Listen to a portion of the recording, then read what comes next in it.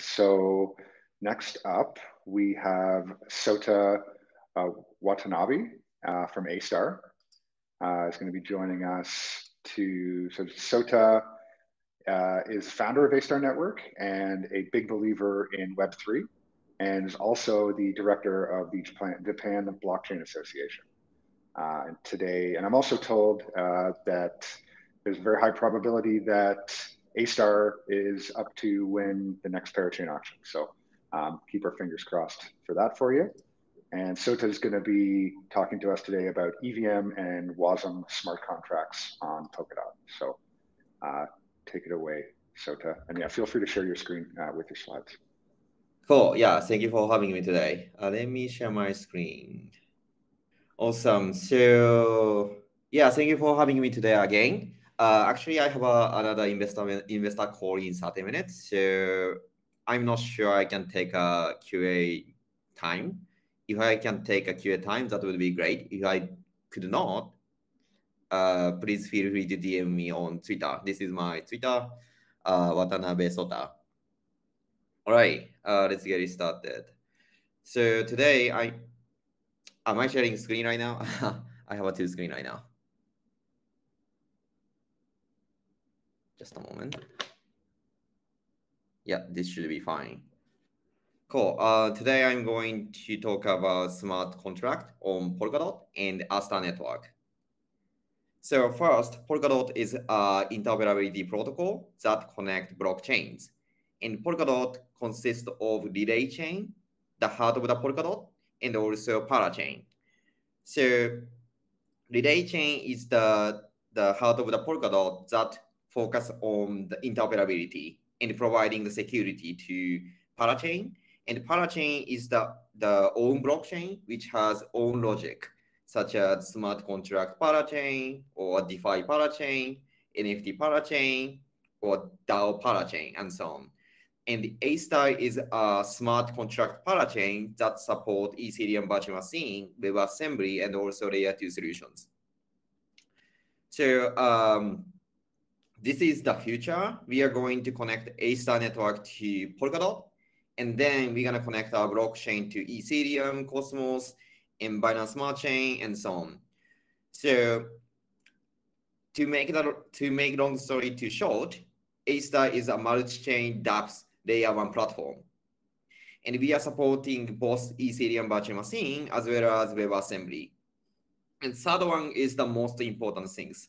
So Astar is a build to earn protocol. And I'm going to talk about build, the concept of build to earn today, later today.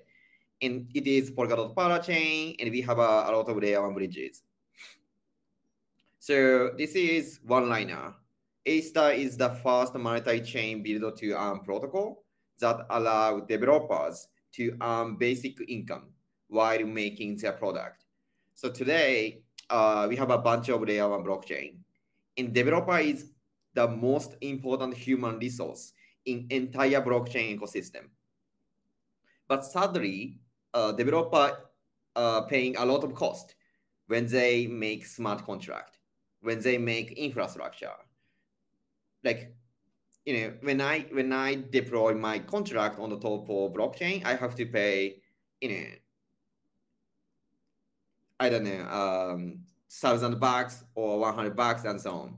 So losing cost by making product. So this is strange. And this is, you know, wrong because developer is the most important human resource. And blockchain is all about incentive design, but incentive is broken. So we invented new the system that incentivize developers to deploy smart contract or make infrastructure. And this is the layer one blockchain. And the layer one blockchain has inflation through block rewards. And this inflation goes to validator and also developer through DApp, other dApps rewards. So this dApps rewards is not only for dApps project, but also infrastructure project. And developer can use Astar token to grow their ecosystem. For example, they can use Astar token for funding core team, liquidity mining, or paying gas fee or you know governance token rewards. And this this system is already live on our Canary network called Shiden. In a project called Kaco Finance and 50k US dollar worth Shiden token per week. Uh, by the way, the Polkadot ecosystem has two different networks, Polkadot and Kusama. And the Astar is a parachain of Polkadot, and Shiden is a parachain of Kusama. And I would like to show you a quick demo. So this is our portal, and you can see uh, how many tokens I have. In Shiden and Astar is a multi-chain and multi-virtual machine smart contract hub. So we support not only Ethereum virtual machine, but also WebAssembly. So we have a two different address from the same, same private key. So this is the WebAssembly address. And this is a Ethereum virtual machine address. So I can send my token to Ethereum address as well as WebAssembly address. And you can deploy dApps here. And this is a dApps store. Currently, we have uh, 21 dApps on the top of Shiden. Probably we have more, but this is whitelisted portal because if it is permissionless, we are going to see a lot of fake Uniswap or fake SushiSwap and so on. So this is whitelisted portal, and we have 21 dApps today. And we can see APY in the error and also the TVL. Currently, more than 11% of total supply has been already locked on dApps.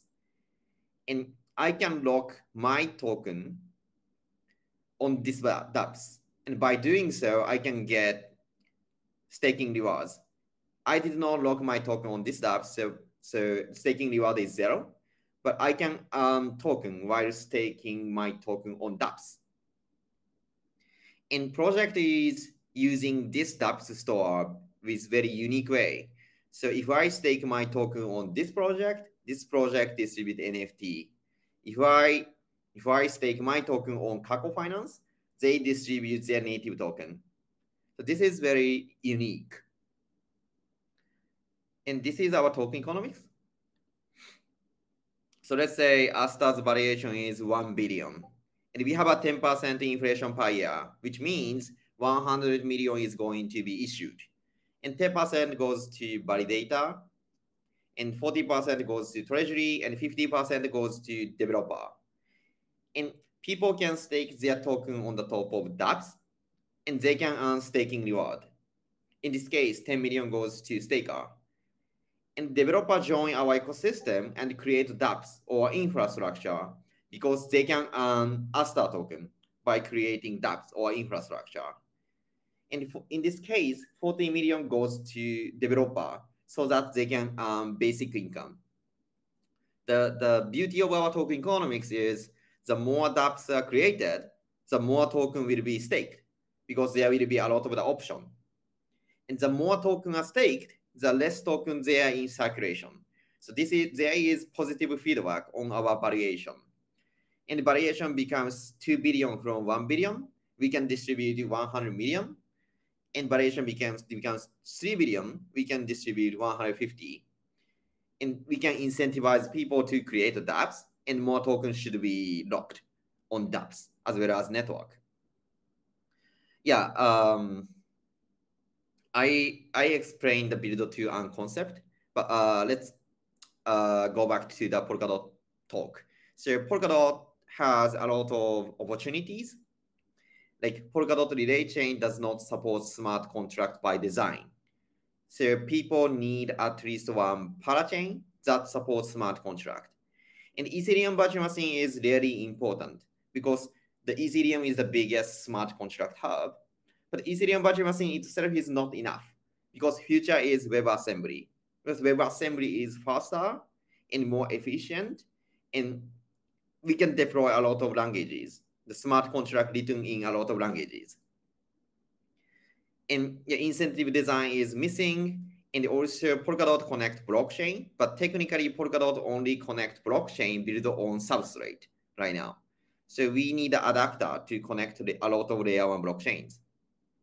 So we have a, a lot of solution like basic income called dApps staking, multiple uh, virtual machine, layer one bridges, and layer two. So I'm gonna talk about multi-chain, multi-virtual machine. Yep. So this is the the smart contract landscape in a Polkadot ecosystem. So we have uh, some smart contract platform in Polkadot ecosystem. Like Moonbeam is making Ethereum on Polkadot. So their EVM is very similar to Ethereum EVM. So if you have already deployed smart contract on the top of Ethereum, you can you can deploy exactly the same contract on the top of Moonbeam. And in case of Astar, Astar supports both Ethereum virtual machine as well as WebAssembly. So you can deploy Solidity contract and you can deploy WebAssembly smart contract. And Parity Technology is creating Canvas. Canvas is a common good parachain for all WebAssembly developer. And you can deploy WebAssembly smart contract on the top of Canvas. I think Canvas will be ready in quarter quarter two next year. So in a Polkadot ecosystem, people can choose whether they can they're gonna deploy smart contract on the top of EVM or WebAssembly. So and this is the comparison between uh, Ethereum virtual machine and WebAssembly. So Ethereum virtual machine is mainly for Ethereum developer, and it is we can say it is built by Ethereum Foundation and Ethereum ecosystem. And Ethereum virtual machine supports Solidity as well as Vyper. So we can see a lot of Solidity contract today in, in blockchain ecosystem. But the problem is it is not efficient. It does not support integers smaller than 256 bit. On the other hand, I think WebAssembly is going to be the future because WebAssembly is the mainly for web developer and Polkadot is going to be a fundamental protocol to realize Web 3.0. And WebAssembly is built by big tech giants such as uh, Google, Apple, Mozilla, Microsoft, and so on. And WebAssembly supports multiple languages. It means you can deploy, let's say, Go smart contract or Python smart contract or even C++ smart contract in the future and WebAssembly is the, the upgradable, and which means blockchain is going to be forkless. In case of Polkadot, we can update the existing code base to new code base without hard fork. So this is pretty important feature in the long run because current technology will be obsoleted in the long run. Then we have to upgrade technology step by step. And no, no one would like to have a fox, hard fox. So forkless is the important feature in a very long run. And Polkadot natively support WebAssembly. And we have a Ethereum virtual machine layer, but WebAssembly is natively supported by Polkadot. But the problem is the WebAssembly smart contract are too big to be deployed at this moment. So Parity Technologies and ecosystem member are improving the throughput of WebAssembly contract on the top of parachains. So in case of Astar, we have a Ethereum virtual machine as well as WebAssembly. So you can deploy Solidity contract on the top of our EVM, and you can deploy Solidity on the top of our WebAssembly through Solang. Solang is a Solidity to WebAssembly compiler um, made by community member. And in case of Ink, Ink is a Rust EDSL made by Parity Technologies. You can deploy Ink smart contract on the top of WebAssembly. And many other languages can be deployed on the top of our WebAssembly. The, the, our challenge is how to make them interactive. So we support Ethereum virtual machine and we support WebAssembly. Technically speaking, we have a two different virtual machine at the, at the same time on the top of a single parachain. So in the future, we would like to make them interactive, but right now we can only call um, Solidity smart contract. Sorry, we can only call WebAssembly smart contract from Ethereum virtual machine. So we cannot call um, Ethereum smart contract from WebAssembly environment. This is not possible right now, but it will be possible, and we are going to make them interactive. So this is the key takeaway. Uh, I think more WebAssembly smart contracts will be deployed from next year, hopefully quarter one. And WebAssembly is going to be a, the future of the smart contract, but Ethereum virtual machine is really important right now because Ethereum is the biggest smart contract hub. And I think people will not migrate from Ethereum virtual machine to WebAssembly at once. I mean, in a day or in a month. is So we need to support both Ethereum virtual machine as well as WebAssembly at the same time on the top of, on the on the single parachain. So the interaction between Ethereum virtual machine and WebAssembly are going to be more important. So this is my presentation. Uh, thank you very much for listening. And if you have any question, feel free to DM me. Or I think we have, yeah, we have a 10 minutes. Yeah, we do. So you said you had a hard stop at the top of the hour, but you're okay to ask, uh, answer a question before that. Thanks again, too, by the way. So yeah. it, was, it was really, really awesome to learn a little bit more about Astar. Um, cool. So we do we do have one question. So why did you launch on Kusama and Polkadot, and how do your goals and roadmaps differ between uh, Shiden and Astar? Got it. Um, I'm strong Web3 believer. So blockchain needed to be connected, just like internet. So internet was independent, right? So there was US network or Japan network or maybe you know European network, and it was isolated. But right now, it is connected, and we can talk each other simultaneously. The blockchain is going to be the same. So blockchain will be connected. It is expensive. It takes time to transfer the token and data right now, but it will be connected and it's gonna be cheaper and it's gonna be uh, faster. So interoperability protocol is really important to to make Web 3.0 for billion people, not for millions.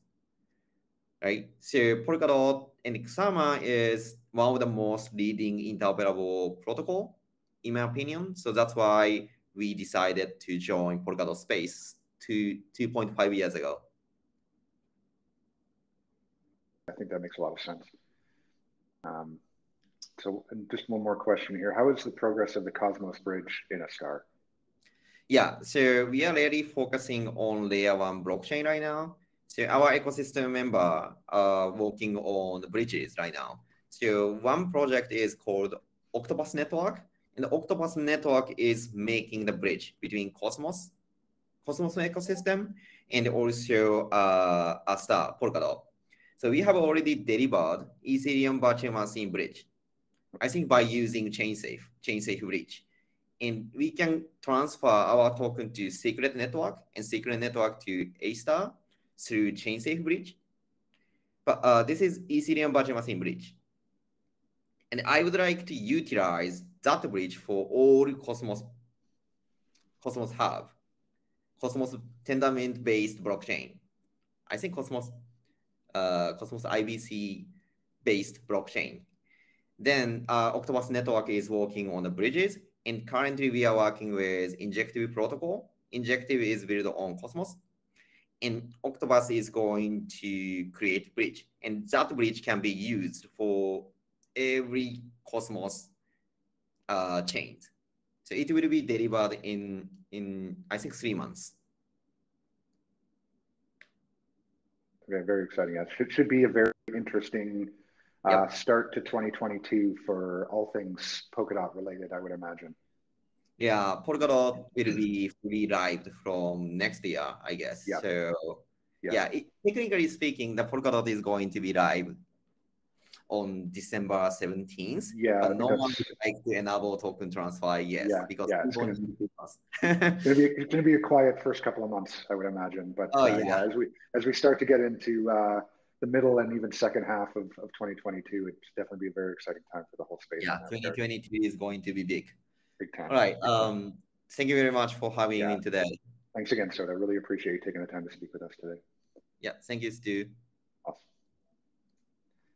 So um, up next, we have Scott Moore. Um, sorry, so you can just, uh, yeah, perfect. Um,